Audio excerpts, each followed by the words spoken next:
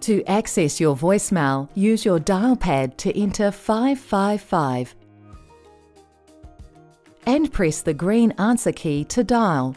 Your voicemail assistant will prompt you through the options. Press 5 to record new personal greeting. The recording will start after the tone. Record your message, then press 0 to end the recording.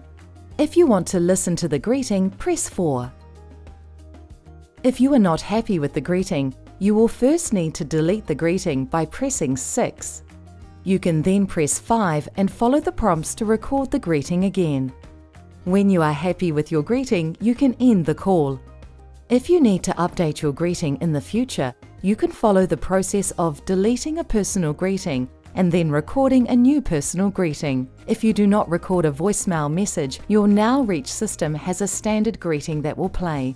The greeting is, please leave a message after the beep. Before recording a greeting, you will need to listen to any unheard voicemail messages. Please see the Access and Listening to Voicemail training segment for more information.